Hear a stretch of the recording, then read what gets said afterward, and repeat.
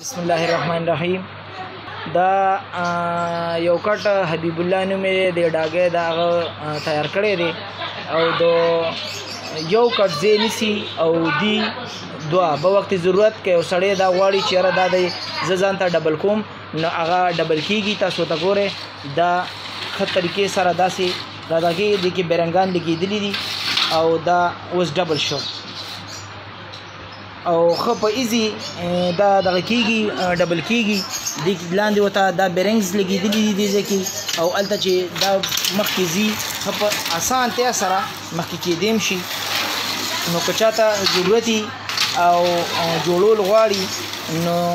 حبیب الله د ډاګه دی داغه نمبر دی 0305 8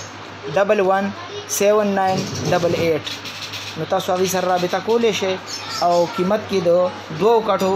نه ارزان جوړې دي شي چې دوو کټو سره قیمت ته د هغه نه